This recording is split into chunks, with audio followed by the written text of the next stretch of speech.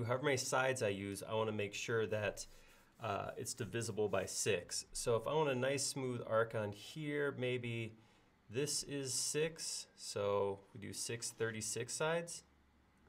We'll do that. That's gonna be our standard for the wheel is gonna be 36 sides. So I'm gonna come in here, grab a circle, like that.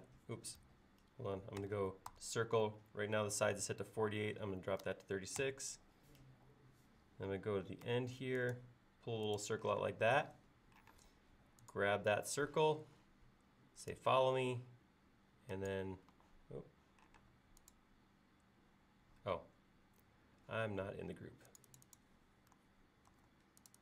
Let's hop in there and paste that back in place. All right, try that again. Select the circle, follow me, click this, and there we go.